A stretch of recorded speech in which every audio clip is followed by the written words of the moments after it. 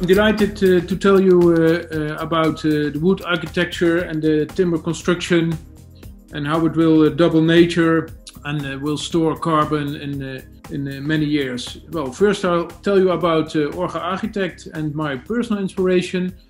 then I'll tell you about bio-based materials um, and a brief history about wood architecture.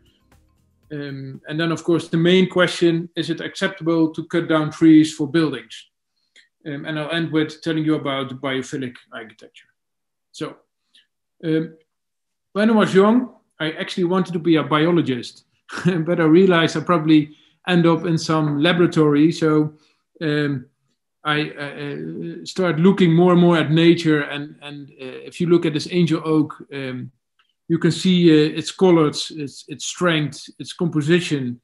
Uh, you can imagine the smell of the leaves and the forest and the moss um, and even the ecosystem and the insects all around uh, uh, uh, the tree. So um, I wanted to build like nature, so I become an architect and, and, and looked how you can make buildings like nature. Well, Orga Architect is a natural inspired architectural office. Um, we look at uh, form of buildings, as many architectures uh, architects do. We look at uh, material, natural bio-based materials. Uh, we use natural techniques, uh, biomimicry, and we're looking for how nature is connected to us, and that's called biophilic, and I'll um, get back to that later on. Well, another inspiration is uh, Michael Braungart. Um, this was his uh, participation at the Biennale in Venice in 2016 and he just planted a tree. He was the only non-architect, uh, and he said, "Why don't we build like a tree?" Um, uh, it's a great document actually, and and if you look at um, what it says, for example, uh, a tree, a building that provides materials for circular systems, just like a tree, uh, captures light and uh, carbon to manufacture renewable materials, and, and, so on and so on. Um, look at the second bottom that makes Germans, tree huggers, and other emotional people sing, for example. Uh, and it adapts over time, self-renewing, restorative, and self-replicating. So Build Like Tree is really an inspiration for me. If you look at the circular economy, uh, the butterfly model has of course two wings, one technical, one biological wing if you look at the technical circle, we can see that in the red uh, uh, circles, uh, we are still mining and still have landfill. Um, and I thought we wouldn't uh, do that anymore in our uh, circular economy. If you look at the biological circle, we're really talking about a closed circle. Um, and um, um the technical materials kind of stolen the circular economy. But with bio-based materials, it is really closed. Technical materials are always talking out uh, about recycling. Recycling is the solution, recycling. But they forget it has to be a closed cycle. It's a very interesting point in the, it's actually a flaw in the, in the uh, circular economy um, butterfly uh, model. And if you look closer, the flaw is uh, the technical materials don't restore the resources. Uh, if we look at the right side, we see the wood cycle. Um, wood and other bio-based materials grow back in the time they are used. So they restore, restoring their resources.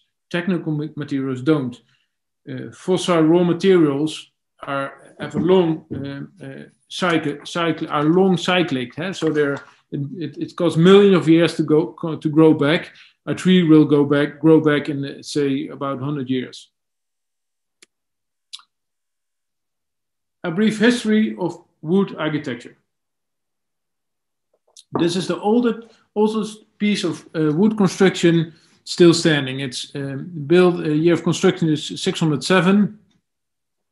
And the rest is, of course, uh, decayed or burned in a, in a medieval city fire or so uh, and captured as carbon in, in, new trees and still part of the cycle. Um, you don't uh, want to build for eternity. Um, later on, the industrialization, uh, uh, of course, came with the fossil materials, long cyclic. Um, about 100, 100, years ago, um, and uh, fossil raw materials, fossil materials became the main building materials. Wood architecture uh, became uh, uh, an aesthetic specialty um, and or was used just for for wall cladding or, or floor floor joists. And in the 70s and 80s, um, the uh, people became aware of the environmental problems. Norman Foster was asked to design, um, he's a steel and concrete architect, and he was asked to design a really sustainable building. Of course, he looked at wood. Uh, in this building, he looked at old techniques, local materials, and natural surroundings. So he designs, of course, in wood, above the snow, in prefab and in bio-based. It's a beautiful building, actually. And nowadays, uh, we see that wood architecture has found its own industrialization. And that is, reminds me of, say, 100 years ago, uh, but now we are industrialization with bio-based raw materials. And bio-based raw materials have a short cycle. And they grow back in the time they are used. An important difference. Well, and that's actually the main question today. Is it acceptable to cut down trees for our buildings? Uh, well, I'm convinced uh, we even have to cut down trees to save the climate. Um, and I'll explain it to you. Um, of course, I'm not uh, talking about deforestation uh, on the, the uh, left side above, and I'm not talking about monoculture uh, plantations, which also called green deserts. Um, and we know that the global goal uh, number 15 says protect and restore um, um, and promote sustainable use of terrestrial ecosystems. So hold deforestation and restore uh, forest uh, globally. So we have to think about uh, uh, how we are going to grow back the wood we are using. So we uh, not talking about monoculture plantation, we are talking about natural certified forest.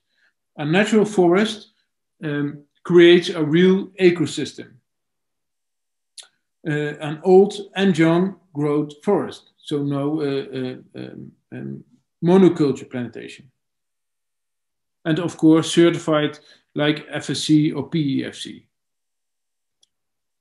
So if we use a certified forest and we cut down some trees uh, in the forest, the forest will keep on capturing the same amount of carbon.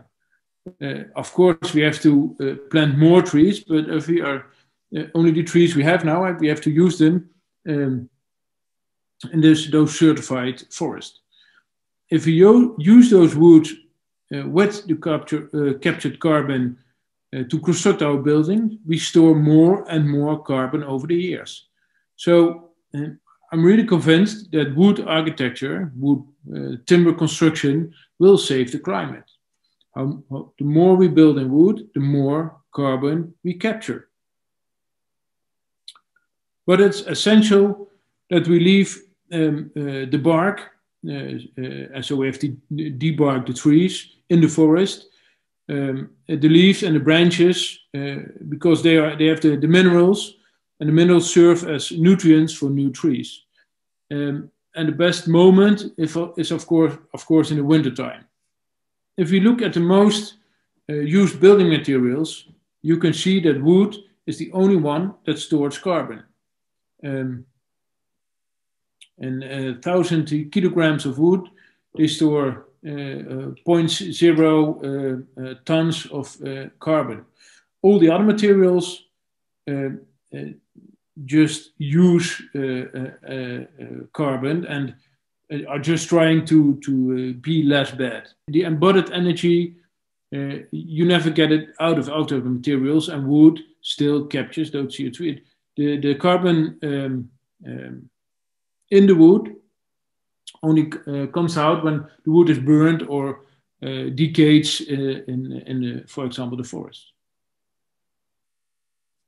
Well, some other uh, benefits of timber construction, uh, and I'll highlight uh, a few. Um, uh, I start with the nitrogen. The nitrogen um, uh, it's very important at this moment, eh, the emission of uh, nitrogen. For example, this, this um, wildcare center in Doorwerth. It's completely surrounded by nature. Eh? It's, it's, it's, in the middle of nature, Natura 2000. Uh, and any uh, nitrogen emission is not allowed here. So building is actually almost impossible. Uh, but with timber, it is possible because it's a lightweight construction and the transport of wooden uh, building elements costs little energy. So you can build completely with electrical devices. It's almost finished actually. So it was even in the, in the, in, the, in a lot of new newspapers because we are still building in, in the middle of nature without any nitrogen uh, emission. I'm convinced that solutions um, uh, only work if people benefit from them and also when people can earn money from them.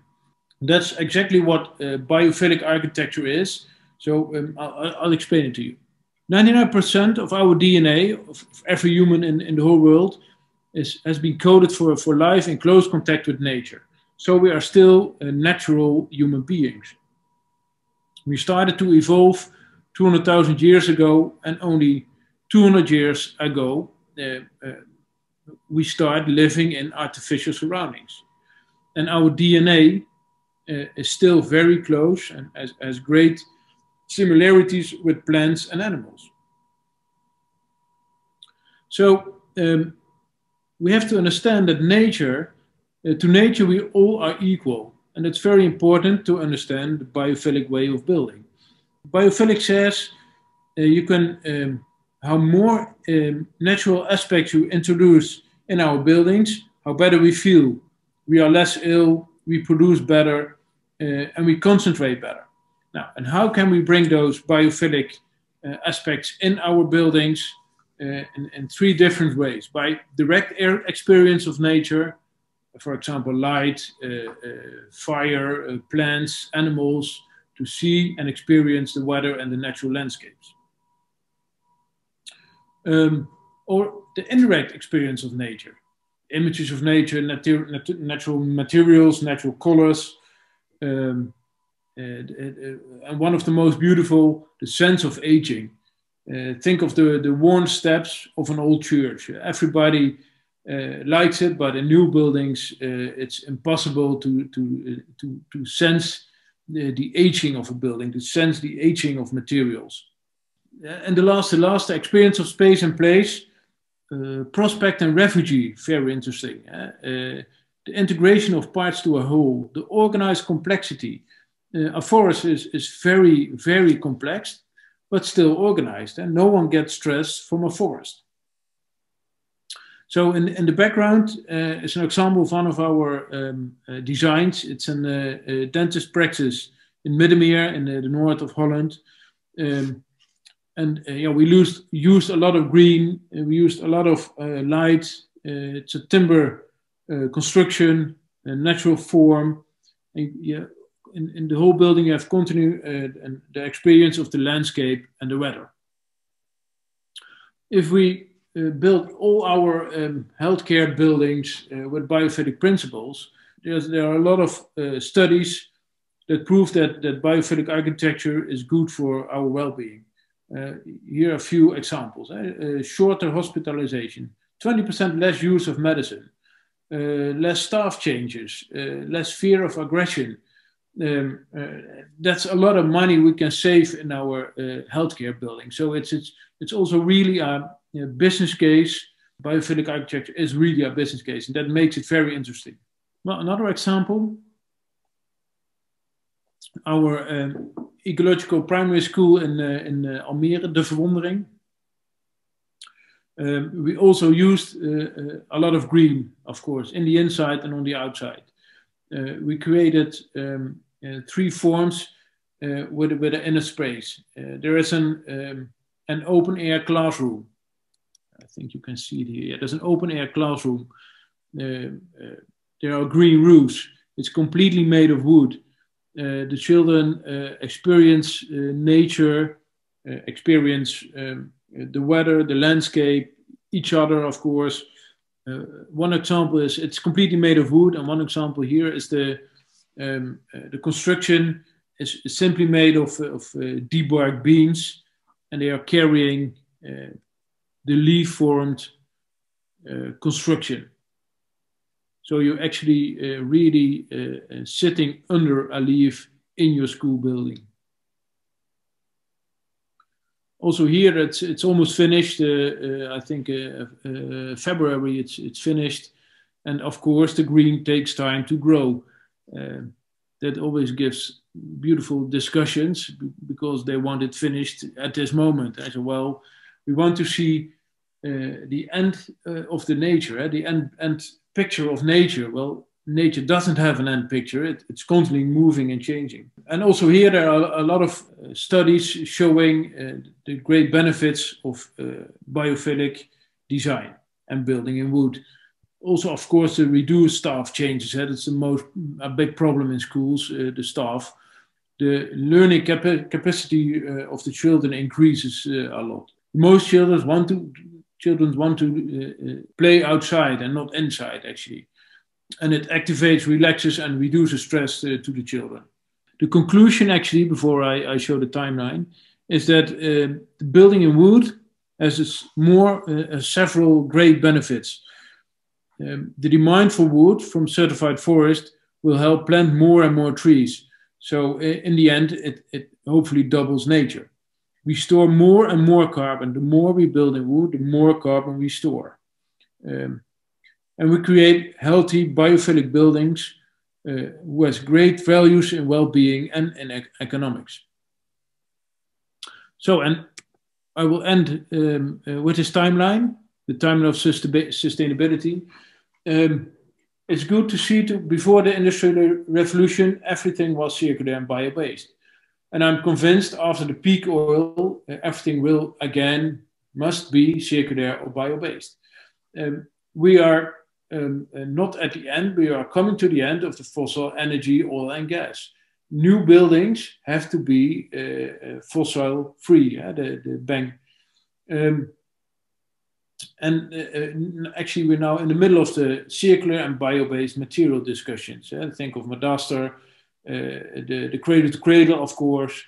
And you also already see the next, the, the health and biophilic principles uh, what gives makes our health buildings and all these buildings uh, have to be built in uh, in wood